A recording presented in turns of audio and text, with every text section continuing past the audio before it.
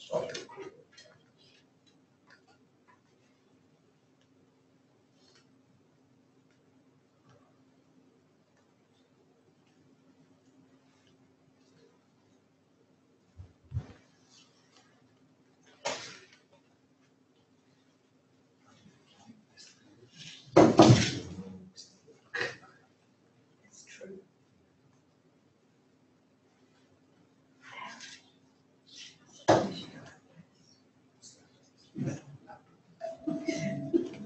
Okay, so in terms of the technology, I just want to point out, we, we do, this is the back channel for the, the meeting, so anybody that's joining remotely is able to post to this feed via Twitter uh, using the hashtag OERU16.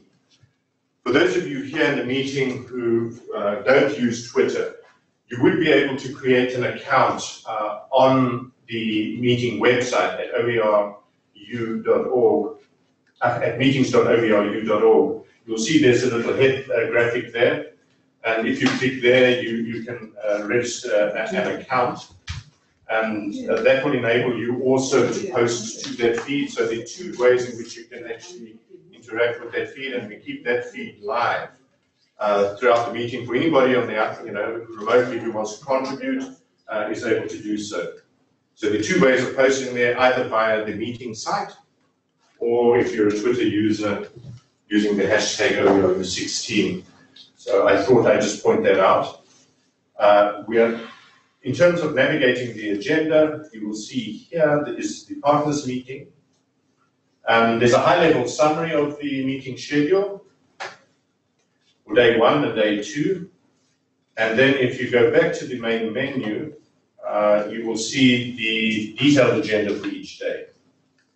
And if you click on this bar at the top, uh, day one, it gives the breakdown of the sessions for, uh, you know, for day one.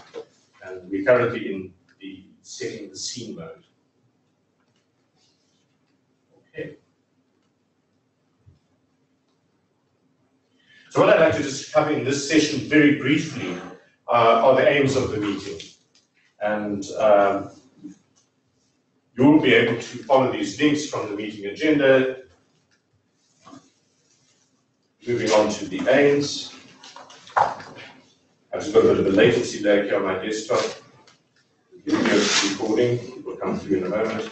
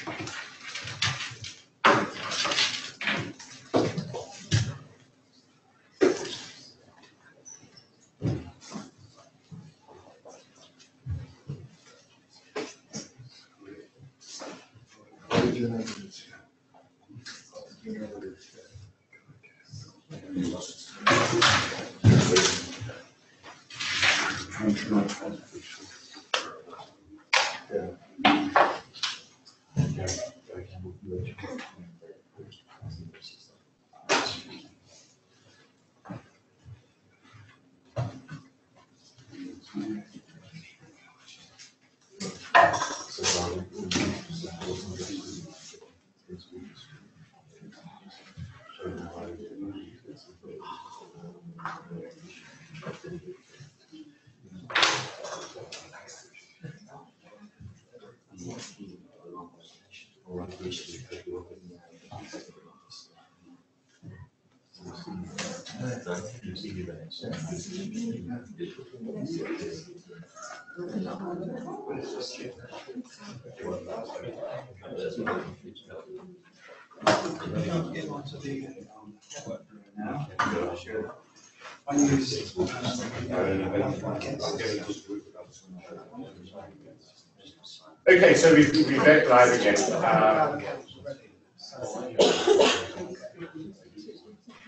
We're again. You can follow the, uh, from your own um, devices, you'll be able to see the, the- the aims listed there. I'm just having a few problems here from the podium. But um, the, the key aims of this meeting are to review our progress uh, over the current year. Now, uh, the current year is in our third quarter, so we've still got a quarter to go, right? I have to say, uh, where we're at at this stage of the development uh, pro- uh, process is actually quite good. I think we're going to exceed a good number of our targets that we set at the previous partners meeting. So that's all good. The key focus of this meeting, of, of course, is to focus on our operational priorities for 2017, which is really focusing on the launch of the OERU first year of study. Um, what we also do at these meetings is we follow, we follow an evergreen strategic planning process. We are currently within the 2015 to 2017 strategic plan of the OERU. And part of what we do at the, these uh, international meetings is recalibrate our strategic objectives for the 2017 year. So we input into that process to help establish our KPIs for 2017, which is uh, part of what we do. The other component, which is quite important, is we need to start preparing for our next strategic plan, the 2018 to 2020 strategic plan. And uh, true to OERU traditions, uh, we do conduct a rather comprehensive open consultation in developing these plans. And we will be doing a little bit of planning around the thinking for uh, launching that consultation in 2017. I'm just going to shut this down here. Going on. Okay. The other issue which is quite important about OERU meetings, if you haven't been to an OERU meeting before, this is not a conference. Right? It's not a conference. It is a planning meeting. And I think the best way of des- describing these OERU meetings is, in fact, it's a planning sprint. What we attempt to do is to generate a first draft, if you will, of key components of our plan for the 2017 year. And because we are radically open uh, and transparent, we record all our uh, interactions in the wiki and other documents, which then becomes the first draft of this planning process, which we then refine in the coming weeks, uh, which, which follow the meeting. And of course, everybody being, uh, open, being a wiki and it's open and it's transparent, everybody is able to contribute uh, to that planning process. So uh, a couple of principles for the, if this is your first OERU meeting, uh, we build on decisions uh, that we've, you know, that we've taken and work that has been done to date. Uh, it, it's, it's, it's a very significant component of our sort of our open model in terms of how we work. We work on a model of rough consensus and running code. What that means is we, uh, we, we focus on implementation. And so the folk that are sitting around the table helping us take immediate implementation decisions are the folk that inform this process, right? And then we take those decisions and we implement. So we don't go back to the decisions that were taken in 2011 and uh, you know re- reconfigure those decisions. We work with what we've done and where we're at in, in the process in terms of how the OERU works. Our focus is on taking decisions for implementing the OERU first year of study next year. Um, we can, of course, identify strategic issues for the medium and long term, and that's fine. Uh, but we have to recognize that we will not be able to resolve all issues over the medium and long term in a two-day meeting. So, um, you know, we, we park the strategic issues, we note them so that we can work on them uh, in, in the coming years. A couple of minor uh, issues. If possible, keep presentations and monologues to a minimum. and, and the other principle which we encourage is uh, unnecessary affirmations of, of, you know, from previous speakers. So if, you have something new to add to the conversation, that's great. Uh, because we are quite pressed for time, and we have the uh, international broadcast as well. So, any questions uh, around the aims? Does that make sense?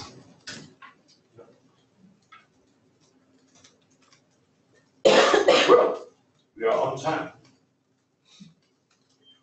So this is the, uh, the part of the meeting where we do the participant introductions. And another tradition of OERU meetings is we follow the two breath rule. And so what that means is, is that, hi, I'm Wayne Mackintosh, I work at the OER Foundation. One breath. Right. And the second breath is if, if you could share something, uh, you know, about the OERU or something that you, you know, you hope for the OERU or what you'd like to get out of this meeting, you know, just a, a personal reflection or, or, sharing. But the purpose for the two breath rule, of course, is we have, you know, 26 participants and we need to get the introductions done within an hour. So that is, you know, it's a little over two minutes per, um, per participant in terms of the introductions. Does that make sense? Okay. And uh, I welcome the colleagues that arrived uh, here uh, via the executive office. So you've had a good, uh, you better, I haven't seen the executive office yet, so that, that's all good. Welcome Dave, welcome Martin. Was there anybody else today? Fantastic. Okay, so let's start with introductions and I shall be a benevolent dictator. We'll, we'll start at this table here. With the old boys. I guess that's congrats, right? Well, first of all, thank, wait, I gotta come up. Okay, first one. Great to be here, fantastic to be back. Uh, Irwin DeVries from Thompson Rivers University, where we've been involved in this for, from the very beginning, and I am the interim associate vice president for the Open Learning Division at Open Learning. That's it. I'm Rajiv Jhangiani. I'm a psychology faculty at uh, Kwantlen Polytechnic University in Vancouver, BC. Um, passing on regrets from our president, Alan Davis, who couldn't be here with this convocation.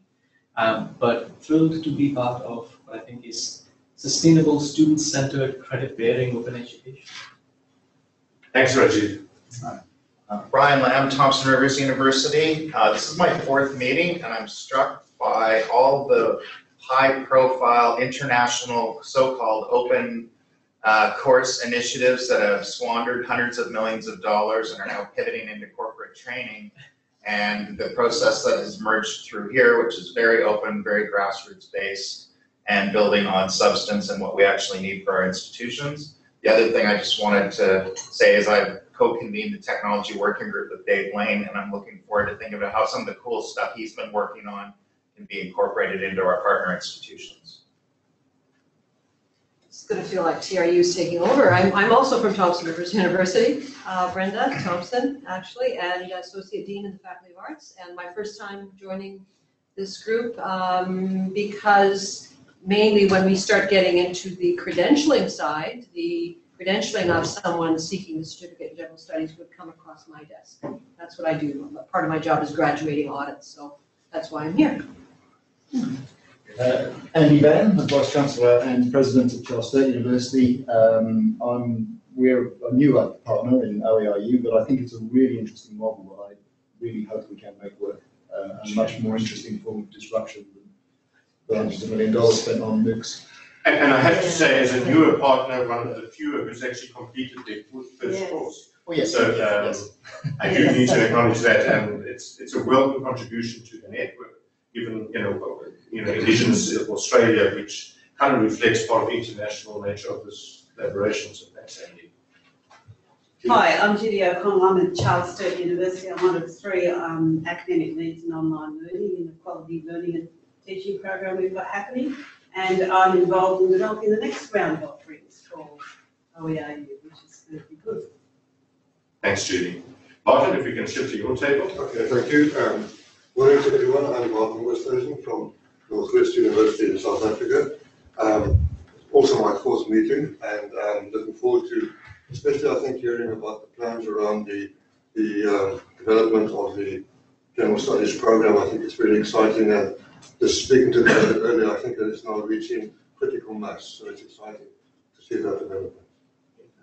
And uh, thanks, of course, uh, host of the OERU Partners Meeting last year. Thanks, Martin. I'm Mark Singer. I'm uh, Vice Provost um, for the Center for Assessment of Learning at Thomas Edison State University in New Jersey. Um, This is my third meeting. Um, And uh, we've done a lot of uh, different kinds of things with uh, OER, but this, uh, being part of OERU has been helpful to us in helping us really keep keep our focus on what's important. We've really appreciated how, how much we've able to, been able to stay on track since, since I've joined. Thanks, Mark. Steve Phillips, also from Thomas Edison State University, I'm Assistant Director for the Center for Assessment Learning. Um, and kind of just to echo what Mark said, you know, it's, it's a nice opportunity to come here and meet you all and get to know you and kind of dive a little bit deeper into this consortium. Good morning, Christine Walsh, Nelson, Provost and Vice President Academic at Thompson Rivers University uh, in beautiful Kamloops, so not as gorgeous as Inverness is this morning. This is my first OERU meeting, uh, and the thing that I'm looking forward to is how we actually operationalize our aspirations, and particularly from student experience, a student experience, and from a quality assurance perspective. Absolutely important priorities for our work. Thanks, Christine. Good morning, I'm Cindy Ives. I am Vice President Academic at Athabasca University in Canada. Um, This is my first meeting, although Athabasca has been ably represented by Rory over the years, and we were a founding partner of OERU.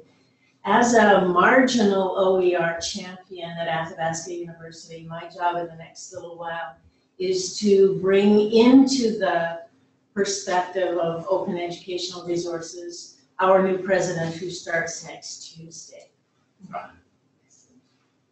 Thanks, Cindy. Maxime Jean-Louis, I work at Contact North in Ontario, Canada. I am particularly interested in opportunities for the six hundred small and remote communities that we serve. Thanks, Maxime, and and welcome to your first meeting, and I hope there'll be many more. Absolutely. Good morning, everybody. Rhiannon Tinsley, uh, Academic Registrar here at the University of the Highlands and Islands. My first OER meeting, so delighted to meet you all. Uh, I have a particular interest in um, the certification, the quality assurance aspects of the minimum viable product launch. Um, hello everyone, I'm Andy Brown, I'm also from UHI where I'm the head of academic development and I'm um, involved in the OERU research education business. Hi, everybody. I'm Becca Black. I work at Otago Polytechnic in Dunedin, New Zealand. And I'm here representing the chief executive because he's busy with organizational restructure at the moment. Um, my role at Otago Poly is the manager of OP Online, which is the group of about 11 developers who put learning online, either in blended or fully online courses, including OERU courses. So my commitment to this is to try to work out a way to take any course that's being developed for fully online or blended and put it up on OERU at the same time. Good morning, everyone. Uh, my name is Mustafa Hassan. I'm the Vice Chancellor for Academic Affairs at Hamdan bin Mohammed uh, University, the first online university in the Middle East in Dubai. Uh, we are, uh, this is my first uh, uh, participation, and the participation is mainly because we see this is a very important opportunity, not only for Dubai, but uh, because we are aiming to spread across the Middle East and uh, in other countries where uh, uh, higher education is far, far be- below the, uh, the norm. So we are here to learn and participate and take forward this to other uh, countries in the Middle East. Thank you, and wonderful to have you here. Thank you. Um, my name is David Bull.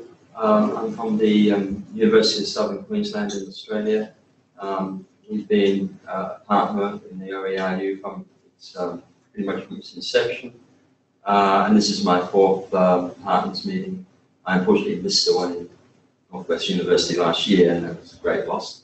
But um, it's good to, I'd like to follow up on Martin's comment that I think, you know, um, the OERU is getting to the point where we finally have an MVP to move forward with, and that's excellent.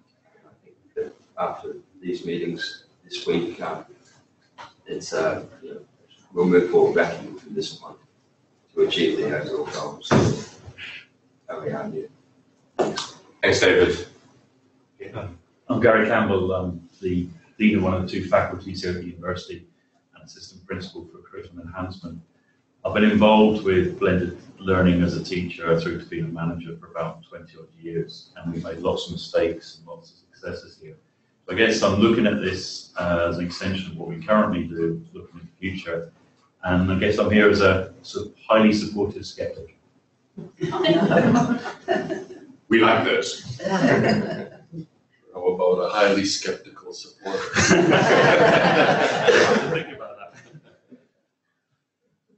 Uh, Rob, shall we start here with you?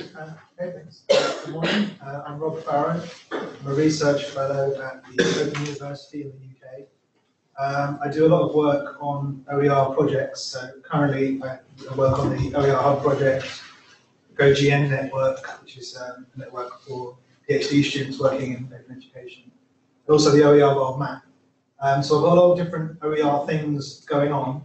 Uh, I'm actually standing in today for Martin Weller, so this is my first OERU meeting. And I'm looking forward to learning more about what OER is up to actually, because I don't know that much, if I'm honest. Um, and also to talk with you a bit later on about research in the field and the kind of things you might uh, like to see from research in the field. Thanks, Rob.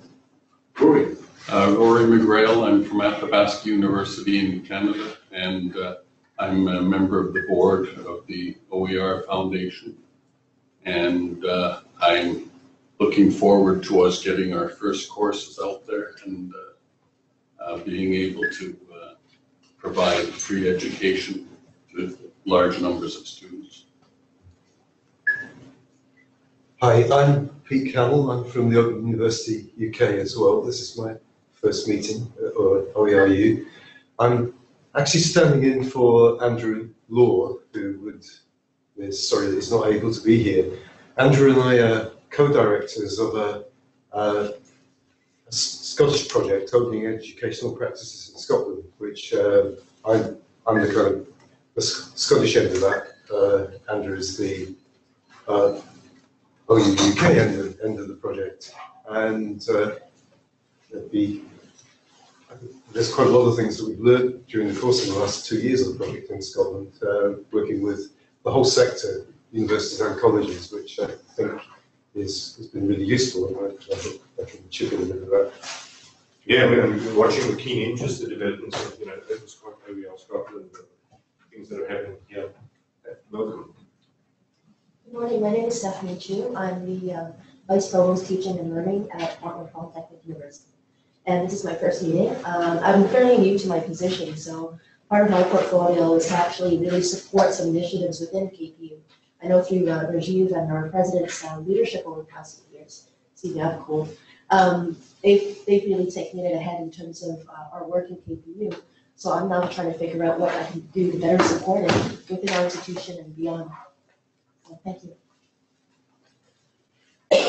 So we're busy with introductions, and let me hand over. Uh, I'm Frank Rennie, Professor of Sustainable Rural Development at the University of Highlands and Islands. Uh, I live and based in the Hebrides, which I just go for plane. Um, very much involved in online um, teaching on research developments. Um, sustainable development to me is about getting quality out to people far away from cities that don't have to come into big buildings. Yeah, all professors. And uh, my partner in Christchurch. I'm probably the only non-educator here, but I'm Dave Lane from the OER Foundation. I'm the open source technologist, and I'm in charge of, um, in theory at least, keeping uh, the lights on. Um, and I spend a fair bit of time going like this, and I um, work as part of the OER Foundation in Christchurch, New Zealand. And uh, Dave forgot also to mention, he's also president of the New Zealand Open Source Software Society. And, you know, true to open, our entire technology stack runs on op- uh, free and open source software. Uh, and, and it's a values-based deci- uh, decision. Uh, anyone in the world should be able to have the freedom to replicate the technologies that we are using uh, to support OER. And it's something we take quite seriously.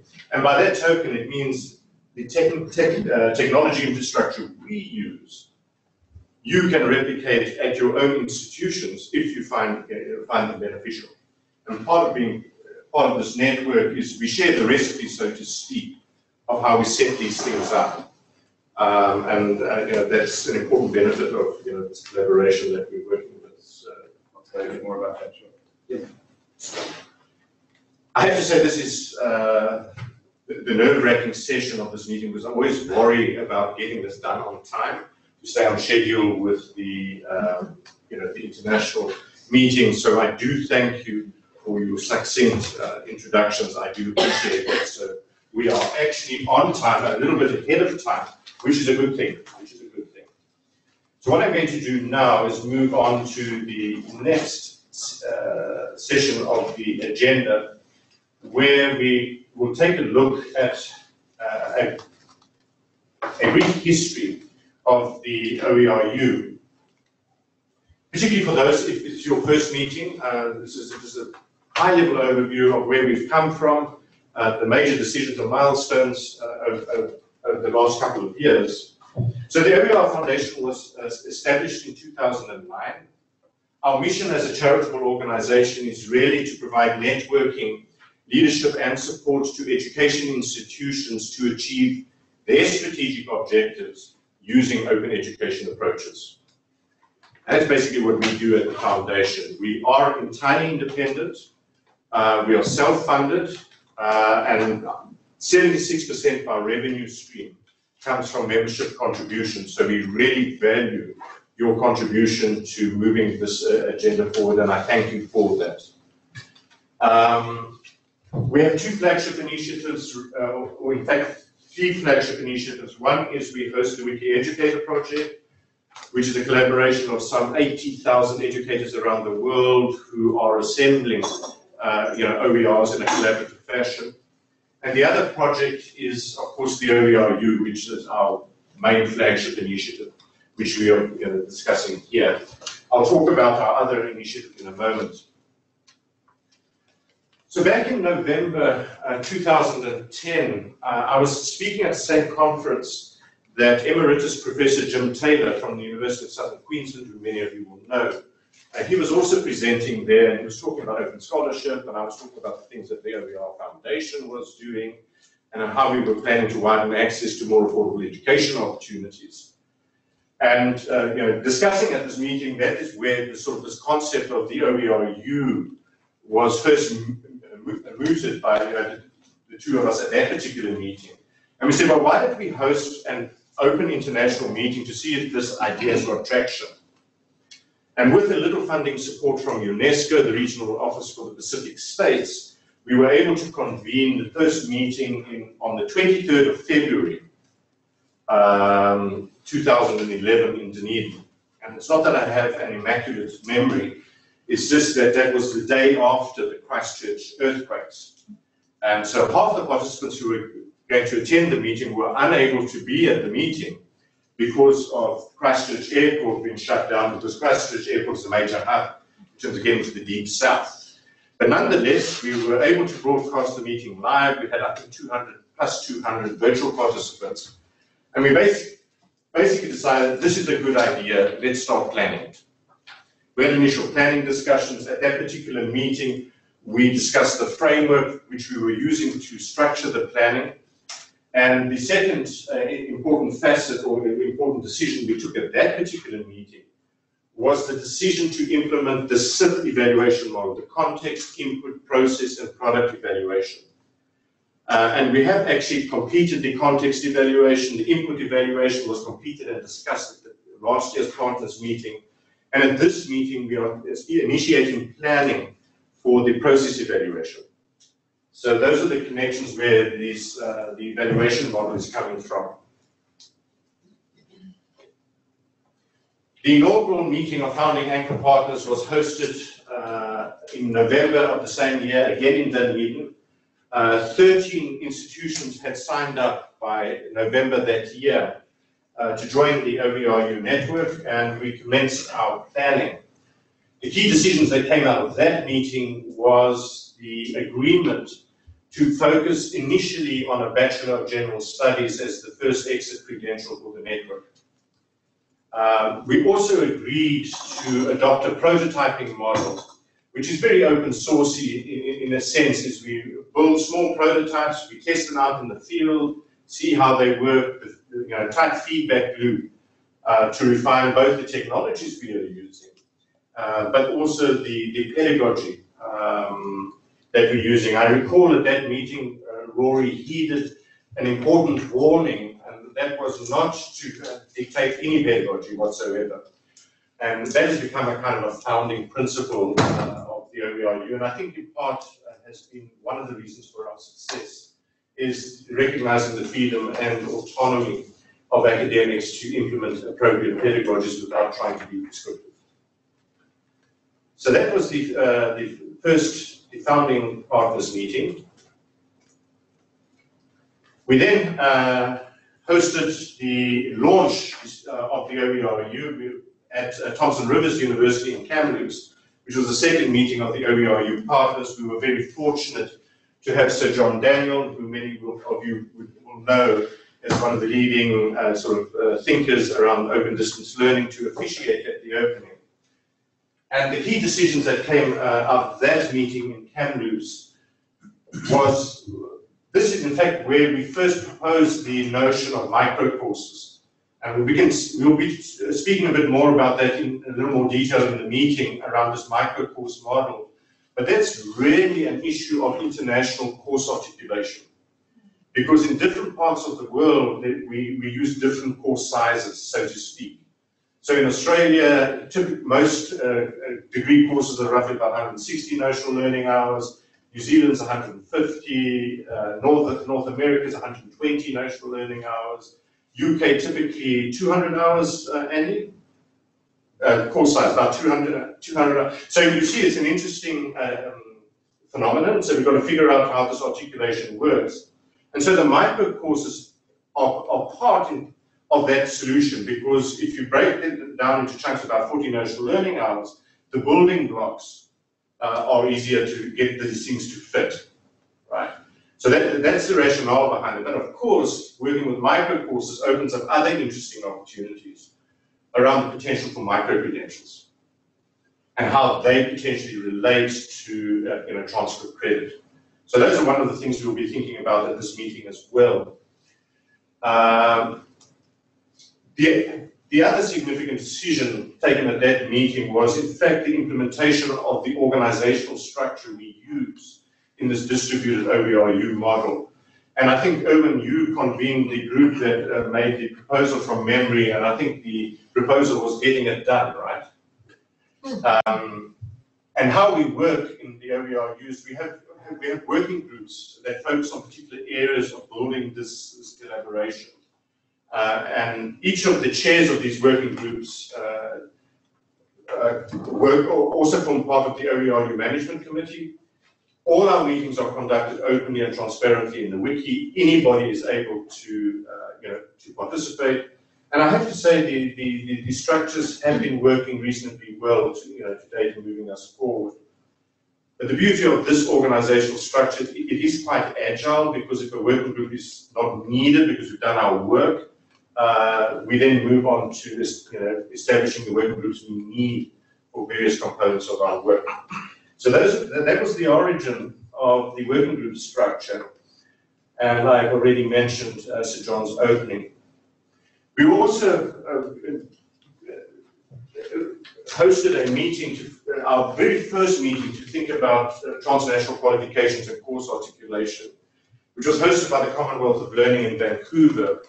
And they've actually done quite a bit of work with the virtual university for small, uh, uh, for the small island states, and actually have produced a transnational qualifications framework, uh, which is sort of a high-level framework to help us understand levels, credits, and these kinds of things, and Fortunately, it's openly licensed, and um, that has guided the thinking uh, in the development of our own uh, course articulation guidelines, which are modeled to a large extent on BC CAT system. Uh, Brenda, you, you would be able to uh, confirm that. Um, and, and, and that's where those decisions were taken. Uh, we also realized at the uh, at, at, at, this phase that at this phase one of the things that we really need to get right is the strategic planning component of the OERU. And in fact, this, we uh, established the OERU Council of Chief Executive Officers, uh, and the first meeting was hosted by, uh, by KPU. And really, the, the, the, the Council of CEOs is, is an assembly of senior leaders, you know, that are called together to actually discuss strategic futures and help guide the, the OERU in its, uh, you know, in its journey uh, into the future. So at that particular meeting, the uh, terms of reference were agreed and an executive committee of that council was established and there are uh, vice chairs for each of the regions. And currently the vice chairs are um, Alan Davis is, is chair of the council, Martin, you are the deputy chair for Africa. Phil Ker is deputy chair for Oceania region. And Clive Holland is the deputy chair for Europe. Uh, and I think that's the lot. Any? I anyone else? No. Okay. And the, uh, the Council of CEOs convenes every year after this meeting. And I'll point this out to you in a moment, but there, there is a running document we keep in this meeting that if during any one of your breakout sessions, an item which you're discussing, which you feel should be tabled at the CEO's meeting, should be noted in the wiki on that particular page. And we actually assemble the agenda for the CEO's meeting based on the inputs from this meeting. Okay, so that's how the, how, how the process flows. And the executives, later on in the agenda, the executives that are here will have a small breakout group, also just to brainstorm and sharpen up that agenda for our discussions on at the Council CEOs meeting, just in terms of process and how that works. Our third project is, of course, we host Creative Commons Aotearoa New Zealand, which is the national uh, affiliate of Creative Commons. Um, just to, uh, to clarify, this is run as an independent, ring-fenced, self-funded project. No OERU membership fees go to supporting Creative Commons New Zealand, because that would not be wise, to, a wise way of spending your money. So I just wanted to make that clear. The third meeting of OERU partners was hosted by the University of uh, Tasmania in Hobart. And I see a good number of faces who were present at that meeting. Um, at, at, the third meeting, we approved the strategic plan for 2015 to 2017 that had gone through an extensive consultation process prior to the meeting. And at that meeting, we actually focused on calibrating the KPIs for the, you know, the strategic plan, our first uh, strategic plan. We also tabled the very first draft of the OERU guidelines for credit transfer and course articulation. Um, and, and, as you will appreciate, I mean, that's, that's the real engine of the OERU. And we've been spending a lot of time and a lot of thinking and a lot of consultation in helping to move that process forward. We also reviewed the plan for the input evaluation. You remember I mentioned using the CIPP evaluation model, so that's where we had a look at the approvals for the input evaluation. The second meeting of the Council of CEOs was hosted by the University of Wollongong's uh, Sydney campus. Uh, the strategic plan was endorsed at that meeting, and uh, the, another, another, important decision was the institution of um, institutional action plans. And so the, the, the, concept is that every year we put out uh, institution action plans to the partner members where they choose and nominate where they are going to spend their time. Because part of the OERU model is that each partner contributes uh, roughly 0.2 FTE in terms of staff time by their work and engagement in the OERU. And it's really just a way of helping to coordinate how that time is actually spent you know, productively across the network. An important principle of the OERU, and I think this has been a prime reason for our success to date, is that our partner institutions retain decision-making autonomy over all aspects of the OERU. And I think that's very, very important. We at the foundation don't dictate, for example, how that time is spent or what you prioritize locally in your own institutions? Um, however, we try and coordinate uh, to avoid, you know, duplication of effort and, you know, maximize the impact for the network uh, through that institutional action planning process. Moving on then, uh, our first graduate, uh, Michelle Aragon. Um, so what, where this came about is the University of Southern Queensland developed uh, one of the first prototype courses, Regional Relations in Asia and the Pacific. and we ran and taught this course online.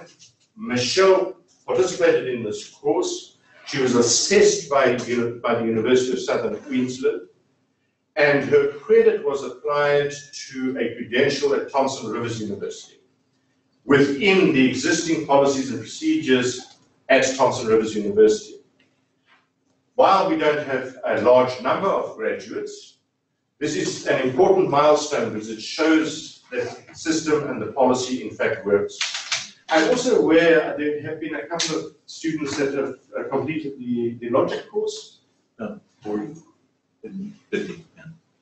Yeah, so maybe you just want to um, quickly summarize what that's about? Well, I don't want to, you know, Oh, okay. over, uh, you know, shadow that, but, uh, all right. Um, well, uh, so, so we, uh, we, we took uh, UNISA's, uh, course in, um, uh, critical reasoning, uh, at Thomas Edison, and, and we adapted it, um, sort of, as, as you were noting before, Wayne, in, in each country, the, the length of the course and the expectations for the course are different, so we had to modify this to, to suit the US model. And we've got it available as an open course that students can do in a self-paced manner. Um, we also offer it with a, a mentor facilitator, if you will, one of our, what we call our faculty, basically. And then um, we have a, a third option, which is the, the assessment. It's a uh, essentially a credit by exam um, model. So students can go through the self-paced model, then take the, in our parlance, it's a TECEP, Thomas Edison exam program. Uh, and so we've had uh, a number of students complete the self-paced course, take the TECEP exam and earn credit, and I, I believe uh, it's 40 or 50 that did not take our course, and then an additional uh, number that, that have. And so for, uh, it's a pretty nominal fee, um, about $100, um, students can earn three credits. Thanks, Rob. The other thing that we do is we, we try and host, um, we just want to see if those people are running or not. If they're not running, this is a, a, a drill. They look like they're going. They look very relaxed. They're not moving. Good side, I gotta do it tonight, I'm gonna be on that one, just-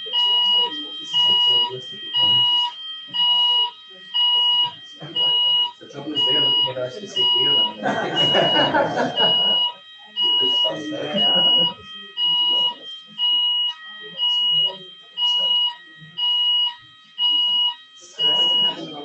Everybody ignores it.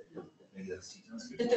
Yeah, so it's pretty much tea time. We also try and host regional meetings. Uh, we've had two regional meetings, one in Oceania, one in North America, which has developed the O- OERU Open Business Model, and you have a copy of the OERU Open Business Model on your desk.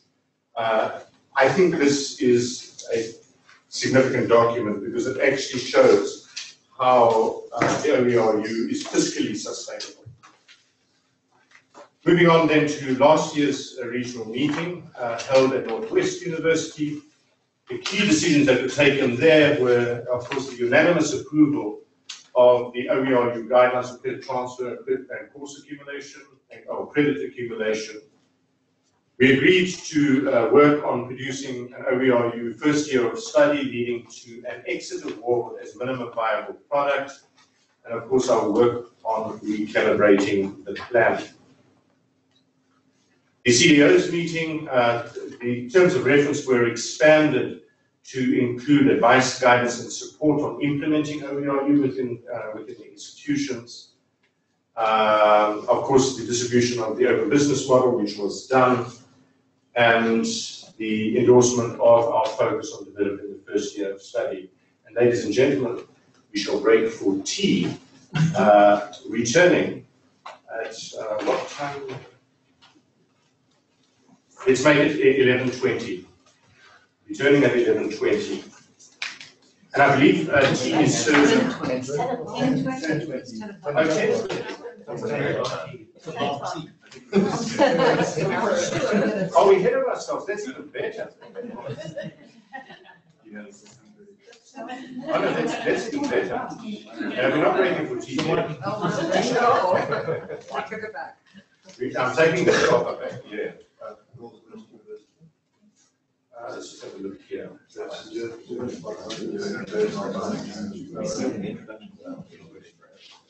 Yeah, so that we've done. That we've done, yeah. That works, actually, on good- actually on good time. Yeah.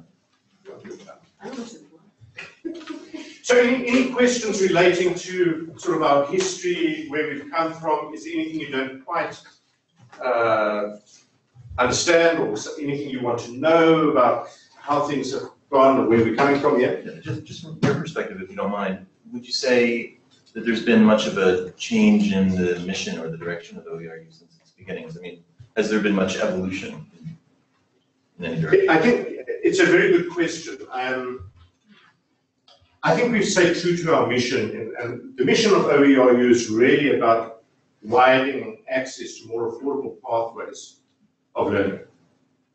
Um, so I, I, think we have remained true to our mission. I think we've become real, uh, a tad more realistic in our objectives in terms of, you know, when we started off, we were going to have all these degrees and all these wonderful things. We were quite excited about it, and when we started working, we began to realize, well, we're going to have to do a lot of planning and a lot of thinking. Uh, but the core mission has, has remained has remained there. And, and to be honest, if, if OERU, for example, were only able to do a first year of study, just hypothetically, and do that well, right? And we are able to help point, you know, 0.1 percent of those learners who will be denied access to tertiary education over the next, you know, 10 years. That's a million people we have helped. And that's meaningful. Of course, uh, if we do more, that's more meaningful. But yeah, I think the, uh, the other thing uh, that has been extremely helpful is we've used an incremental design approach insofar as the technology is concerned.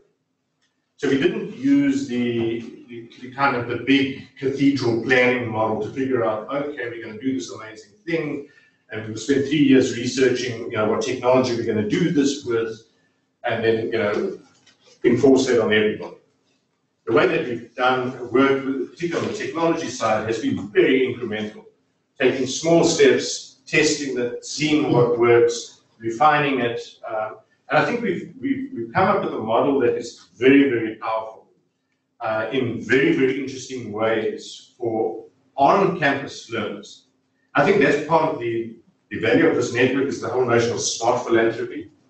This thinking that, you know, the ideas and things that we learn from doing what we do in this open space with open design, open technologies, and then cherry pick the valuable things that would actually work on campus as well. So I think I hadn't realized and anticipated at the onset how important that component was going to become.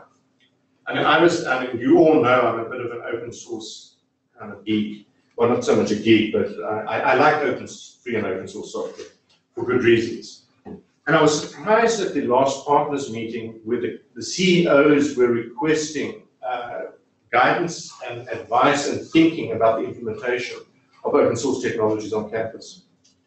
That was a, a surprise for me. I, I didn't expect that uh, as a, as a benefit of the network. Um, for yourself, Mark? No, I, I, I would agree with you. I, I think it would be difficult for us to stay with the exact same goals that we had uh, when this launched, you know, several years ago. Especially because the context is changing and the idea of open has been changing. But at the same time, there is a kind of a adherence to this, uh, this pure idea of open that uh, you don't see from many other places. I mean, there are a lot of other organizations calling what they do open or, or, or claiming to be providers of open materials, and they're not. And it's it's nice to have this stay true to the original principles, even though, as you say, we're able we're, we need to adapt to uh, to changes, you know, in the world. Yeah, and, and in hindsight, I think that it was a good decision we took when we implemented the, the collaboration. And one of the principles of engagement was free cultural works approved licensing. uh, you know, for, for the course material. Of course, you can point to any open access materials that are there, but our core engine remains open uh, in, in, in all its facets, which means it's replicable. And so that so we've got to think smartly about what does this mean from a business perspective? Because if anybody can replicate what we do, right, what are the implications for our own strategic planning as individual institutions? And I think there are a number of significant benefits. And why this network will have the staying power is because of that. Uh, I would hesitate, you know, hesitate that there's no sort of commercial that would be replicate the efficiencies of our cost structures.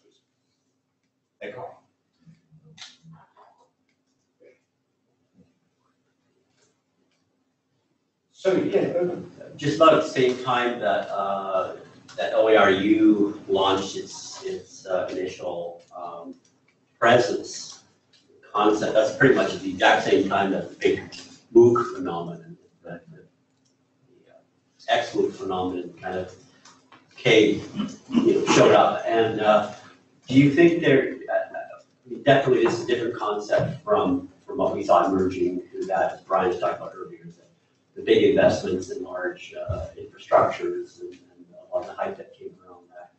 This is quite a different concept. To, to what extent do you think, um, we've been able to maintain, sort of the general understanding of what this concept is as opposed to broader MOOC idea, which I think has pretty much overtaken the, the uh, open uh, concept, probably in a lot of people's minds. Again, I mean, I think it's a very good question and it's a kind of discussion we, ideally, it would be great if we could unpack for a couple of hours because I think there are a number of significant differences between what we are doing when compared to the commercial, you know, MOOC providers. Uh, I mean, one key difference is all our courseware is uh, OER. It's, it's open. There, there are a few peripheral uh, sort of MOOCs that, you know, have open licensing, but everything we do is open. And another significant difference, I think, and it might seem trivial, right? But is no OERU learner will be denied access to the learning materials for having to register a password. So any, and this is a values-based commit, commitment in the OERU, any learner must be able to access the materials without having to register a password. Now that has a number of implications for the technologies you use and how you do uh, in learning analytics, and, and, we're busy unpacking these kind of issues, right? And it's extremely valuable. And it, it struck me, Dave and I were at the regional meeting uh, at USQ, and for the first time I realized, in fact, apart from the values of openness, right, how important this potentially is for indigenous learners, first and family learners, who would be able to participate in learning, sort of kind of sort of the try before you buy sort of thing, uh, and fail anonymously. And that is very powerful. And I, had, I, had, I hadn't realized it before, you know, how, how valuable that, just a component that, you know, if you want to try your learning, uh, you can do that. You can take as long as you like. That's powerful. That's been a significant difference. The other uh, major difference, and, and uh, Brian, you, uh, Owen, you've done quite a bit of you know, research on this, is the whole open design model. Uh, we actually use an open design and consultative model for the design and development of the courses. And, and gives us the flexibility to you know, easily have, and we have had a number of courses where we have designers and developers with different backgrounds working from five different locations on the planet. And that requires, you know, thinking about, well, what systems do you use? How do you communicate? How do you, you know, so we're building up that tacit knowledge, with, you know, within our organization of how to do this. Uh, the MOOC providers are doing it. Uh, we will be ahead of the game uh, in that space. Uh, I think we were also prudent and wise not to try and, you know, when, when all the hype was happening, we didn't attempt to try and rebrand ourselves as, as MOOCs. Even though our delivery model is open online courses, that's our delivery model. I think you know that was a wise decision. I mean, we, we, we, we focused on what we're doing, carrying on, flying below the radar, uh, but we're doing real stuff that is going to help real people. The other area, and I'm hoping we can have some discussion on this at this meeting, which I think is the strategic point of difference of what we're doing and the potential of what we're doing is in the area of what we call open boundary courses. So an open boundary course is where you've got your local course, right? For your full fee, full, you know, full support students on campus in your own learning management system. Learning in parallel with free OERU learners who don't get tutorial support from your, you know, system. And start thinking about, well, how does it work if five of our partners are teaching the same course in this model? How, how very powerful that is. And that the commercial providers will not be able to do. And this is something that we can do. Our technology, in fact, is designed to enable us to do that with relative ease. And then the day becomes, for example, I mean, you would think, why would you want to do that as an institution? But one example might be if you are a regional uh, university or polytechnic or whatever, you could market an international intercultural learning experience for your own learners, which is hard to replicate on a regional campus. So, um, and it's kind of thinking about, you know, where do those opportunities lie? And then, Irwin, has that kind of been your experience?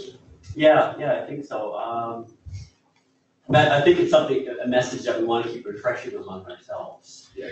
Um, sort of some of these distinct characteristics, uh, that make this a very accessible, uh, project for those of us working in our institutions and, and others that want to join. Very low cost of, uh, of entry, so to speak, and, um, and the way that, uh, I think a lot of our processes can integrate with our existing process. It doesn't necessarily be something big and new, requiring a large investment, and requiring, uh, a lot of new infrastructure. It's more like if, if there's an interest in getting involved, it's, it's a pretty simple concept. I think that's a message that we need to know. It's not this massive thing, it's just something we start doing, and, and if it's something we believe in as an institution, it's something we want to participate in. It's not difficult, it's, it's very grassroots. Uh, and, and it also, uh, I, I've seen in our own institution, for a number of colleagues here have participated in this, a lot of learning takes place. It's a very, it's probably the best education you could possibly get in, in working in open education resources and open edu- educational practices. And it filters out through many different levels of our institution, the way we design our programs, to the way we, we give credit to programs, to the way we assess learning in, in more of the informal space, to the way we design our programs, uh, bringing in more collaborative models rather than just working in little isolated caves. Um, so it put, it forces a lot of questions on our institutions that I think are really good questions that we should be asking if we want to be operating in, in, in a more open manner from, from what we've been doing in the past and breaking on proprietary mindsets. Uh, at the same time, you know, counting on our, our, on these partnerships, uh, uh, roots as accredited, and credible educational institutions, not necessarily startup businesses and so on. Not, not to say anything against startups, but the idea that this is building out of the, the histories that we have as universities and colleges and institutes. Those are the pieces that, that, that uh, I find very uh, promising for the model. It's, interesting on the quality, and this excludes TRU, of course, and USQ, and uh, have worked on courses. Mean, I'm saying this tongue in What I, what I noticed, I, and I didn't expect this, is the radical transparency of our design and development model actually has improved quality. I mean, and folk who work in open online learning would know that because you can't hide behind the, you know, the walls of the lecture theatre. I mean, this is open. And so the whole discourse and the process of getting to that point. Um, and uh, we, I, I can speak of Otago Polytechnic. I mean, the first uh, so prototype course that was finished around sustainable practice, the product was an order of magnitude better than anything that's been produced internally before. Because of, you know, how open this process is, everybody can see it. And it's this thing that, you know, institutions don't want to, you know, put a bad foot forward. And that's good, and, and that's valuable. And, and, and it's kind of low risk for the institutions as well, because it's only a two course contribution, right? This is not the full curriculum. Of course, institutions who want to take it further, they can. Um, there, the many opportunities. The other area which I forgot to mention was the the significant difference is the technologies that we use, and this, the MOOCs, the MOOC, commercial MOOC providers might be able to do. Any partner institution in this network can plug in an OERU course and teach it locally for full paying students without spending a cent on development costs. Now, I don't really admit this, you know, uh, but I trained as an accountant in my first life. But I have to say, a business model where you're not paying for the inputs of your product is actually not bad business to be in. And that is possible. That is possible. So this is an open question, genuine question. So is the other, another differentiation between OERU and MOOCs is the level of disaggregation. So that's really what you're talking about here. The fact that you've got the learning is here and it's open, you don't pay for it. What you are paying for and you can play with, you can try different models is accreditation, the assessment, tutorial support, all those other things. That is different from, think, all MOOCs I'm aware of. Yeah. Um, and I think that's probably one of the ways that higher education will develop in the future. Yeah. So it's, there's a lot to, to play for there. I think that's one of the big differentiators. Yeah. And uh, absolutely right again, and I'm pleased you mentioned that. Uh, the OERU model is a disaggregated service provision model, that's what it is. And so, um, you know, different institutions can assemble services and they can be people, you know, people service, right? Uh, in different ways. Uh, and we purposely designed this thing in that way to be able to do that. And it's actually quite interesting if we look in our, our input evaluation shows two very distinct clusters or categories of partners within the network. There's a cluster of partners that are really just doing this for philanthropic reasons. Know, this is part of our you know, commitment to social justice or our uh, community service support. We're not interested in making any money. Um, there's a cluster around that. But there's another cluster within the group who sees the revenue stream potential for what this model enables. And again, that's something that's very powerful with our model. It, it doesn't exclude those, you know, those purposes, right? They actually support each other. Not only does it not exclude them, it supports them. Yeah. Okay, very good point, Rory. Yeah. And a good point from our skeptic here too. Just to pick up on your point about quality too, and I'm looking at the, uh, the Hack Education, Be Less Pigeon uh, sticker, and Audrey Watters wrote a lovely piece a couple of weeks back. Um, we've been having some, uh, I'll use the word that pops into my mind, interminable discussions about academic quality at our academic senate. And a lot of it has been two views of what quality means, but uh, a lot of it has been the kind of backlash from the academic community about managerialism Uh, yeah, liberal approach to education. I, I think the really interesting prospect here is to establish a different sort of standardisation, if you like, or a different sort of quality control, which does feel like it's being driven by the people who genuinely care about the education. It's not being imposed from outside. Yeah. I think that's one of the really interesting possibilities about this. And to me, you know, to go on what, what could be additional in terms of bringing a genuine network of learners from across the world. And I think that's what the original stuff was so cool about what Athabasca was trying to do. It was open, really open. So, you know, I, I think there's some really interesting prospects here. Um, Absolutely. yeah. And, and it's interesting that you should mention that, Andy, because one of the discussions at this meeting is focused on, you know, how do we set up an academic board? How, how, how would something like that work in this sort of distributed network model? Kind of getting back to that sort of collegial quality perspective. Um, yeah? Yeah. I'm, I'm glad that you brought up the open boundary course uh, potential early.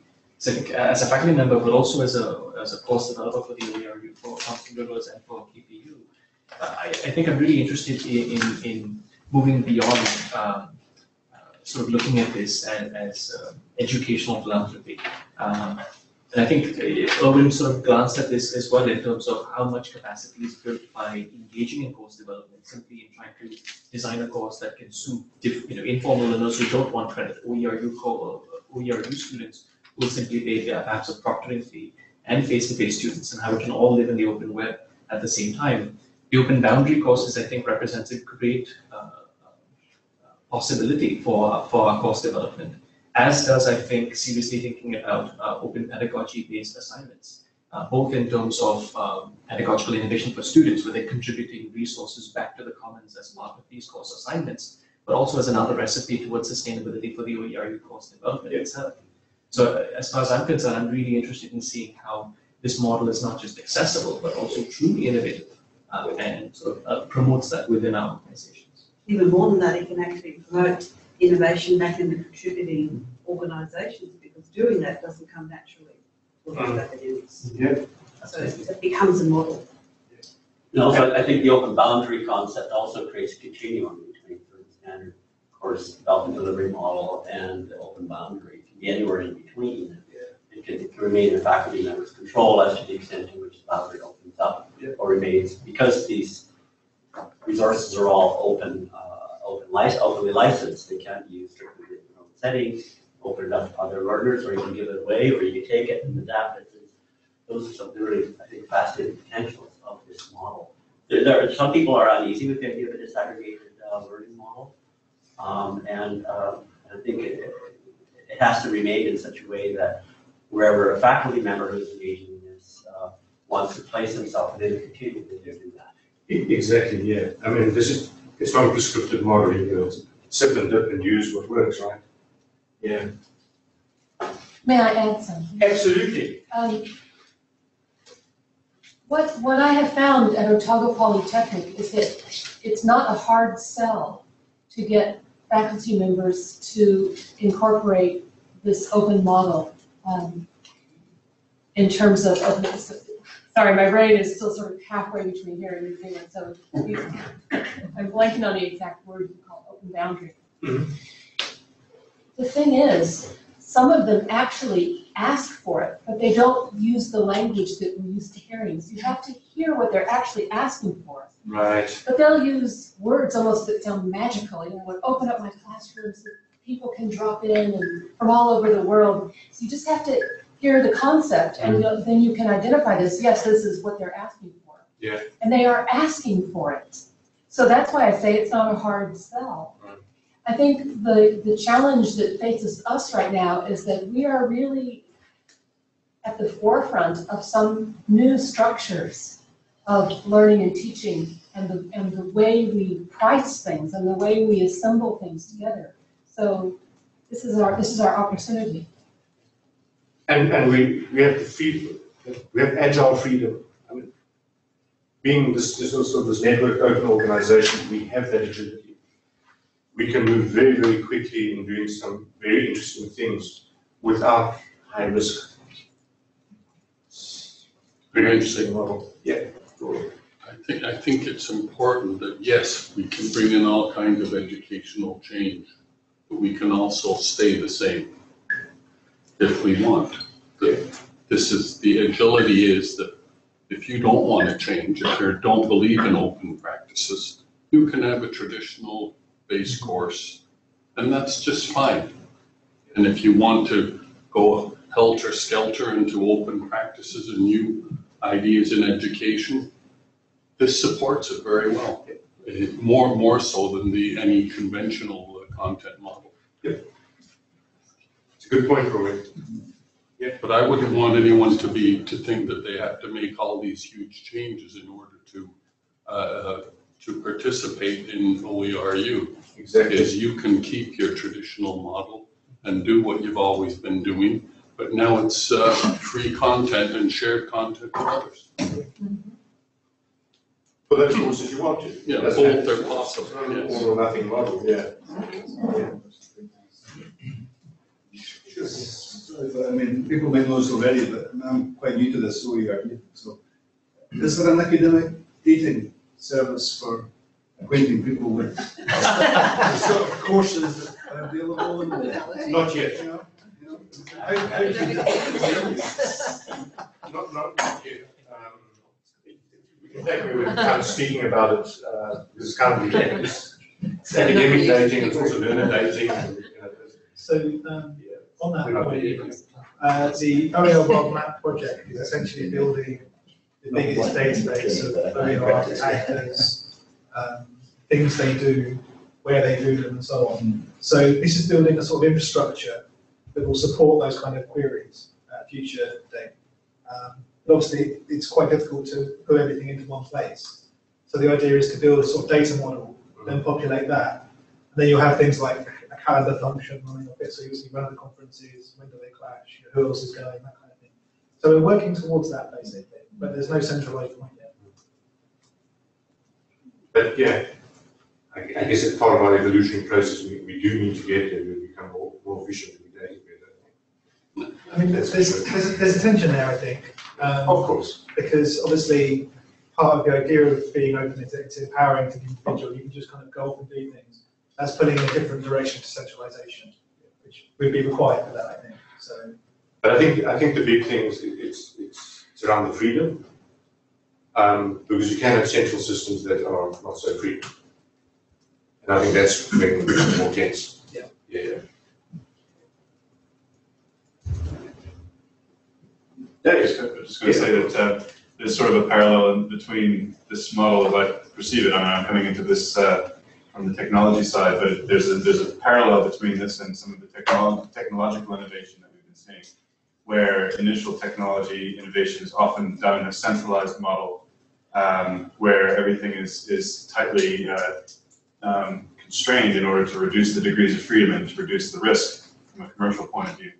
Um, whereas the open model always starts from the grassroots with a lot of trying to identify standard behaviors and then work out a model that allows a lot of different people to, um, without needing to seek permission or without needing to, to in any way uh, conform, they can choose to participate in a federated uh, organization where you couple the different different components together voluntarily rather than because you're you're forced to by the, the structure of the system. So this this I think is a much more resilient and stronger model. In fact, it's like it's essentially the internet model applied to education.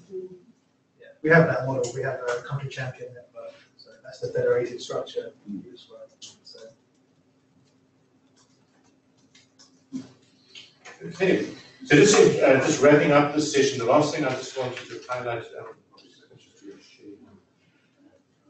Uh, share, it's not share directly. Just, um,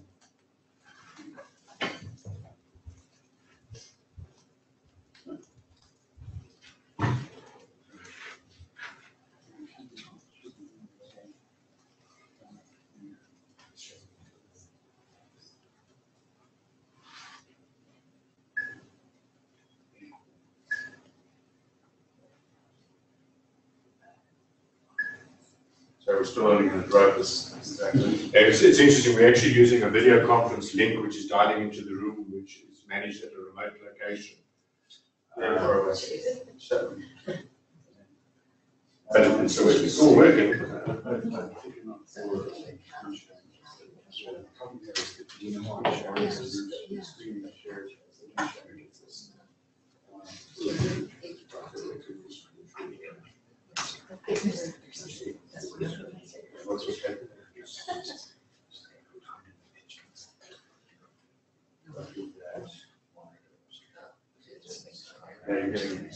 Versions. Um,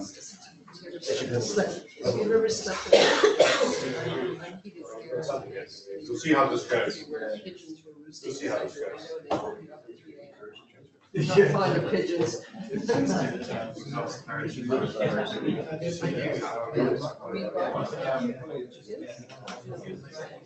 No, no, sorry. Oh, I don't, I guess, I just joined it today. Yeah, so- Oh, yeah. See this? Here we go.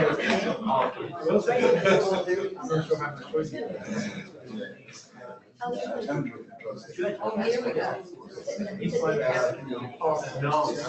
time.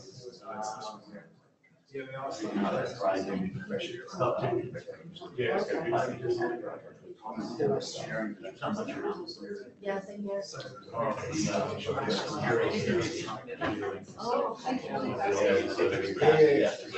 breakfast?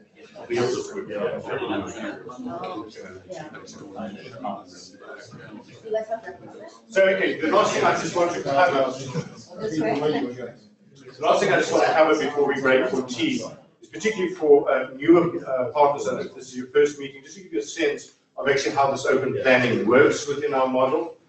Uh, Every, all our planning is conducted in the, uh, in the wiki, and in fact, all our meetings are recorded, so we're recording this session, and we, we will have a full digital history. And I omitted, I should, oh, this is terribly bad. I, I omitted to warn, warn the participants that uh, this meeting is recorded and is broadcast live, as you didn't expect. Otherwise, sorry, sorry. But uh, what that means is anything and everything you say will be attributed to your digital history in perpetuity. And it will be under an open license. So I hope that's okay. Sorry, I'm just trying to, Yeah, now. we, this, the problem I'm getting is we're getting an instant version of the video stream, which is because we're sharing the thing that we're also looking at, and then we're sharing that again, and so on and so on. So, so, so, yeah, we need to. Okay,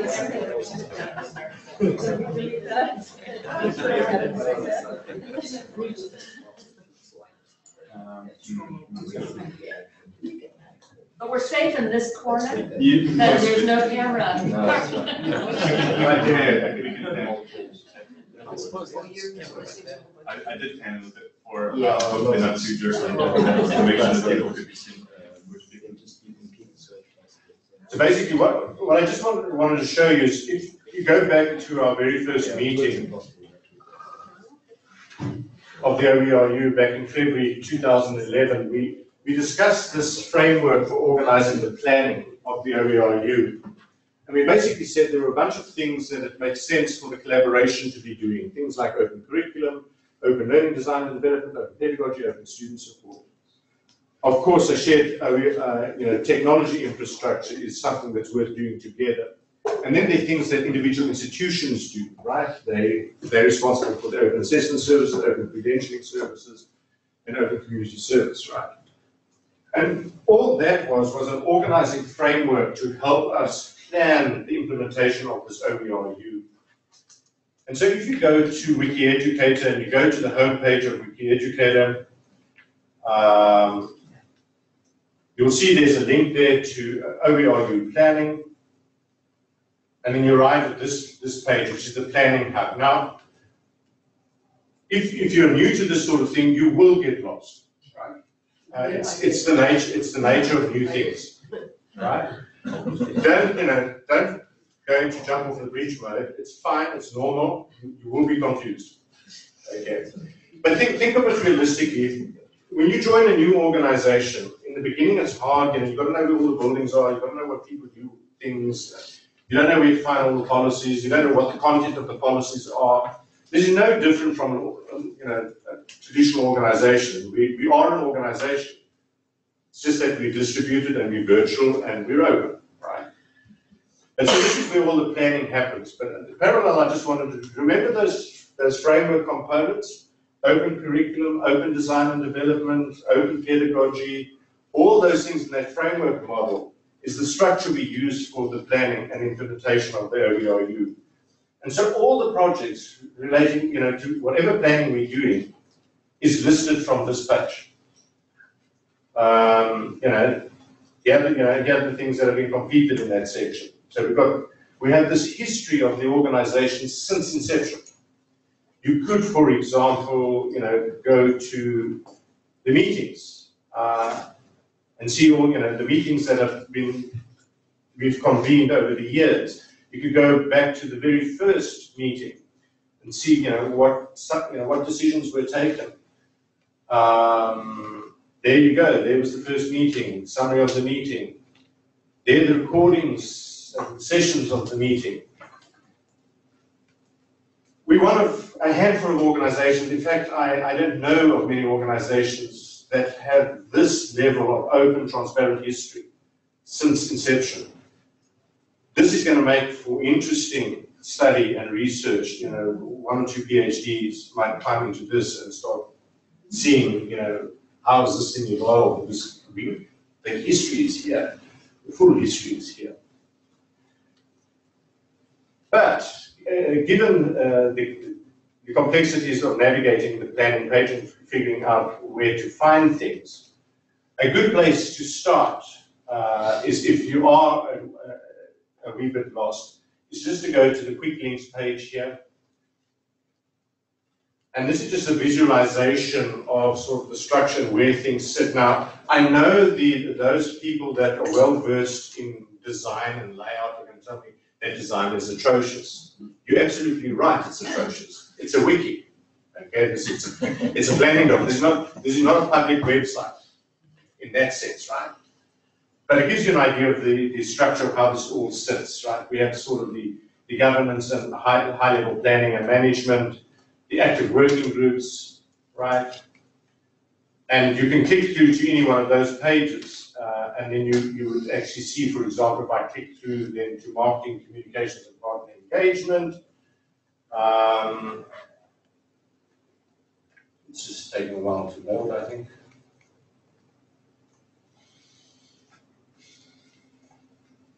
Click through there. You'll see, there is the, you know, all the documentation that relates to that planning group. Record of all the meetings that have been held by that working group. Um, the key, performance objectives and, KPIs that are related to that working group. So just a bit of a high level overview of how all this planning happens in, the open. And as you become more familiar with the structure and how this all sits together, um, it starts making a lot more sense. And you'll see a bit later today, there are technologies that we have. If you are stuck and you need help, uh, there are many places you can ask. So I just wanted to put that out there. That's a unique feature of our model. So with, uh, without further ado, let, let us break for tea. And uh, we'll be back at 11.15. And please be back at 11.15 because of the broadcast, we have to start on time. So um, we might hound you come back to the room. But thank you very much.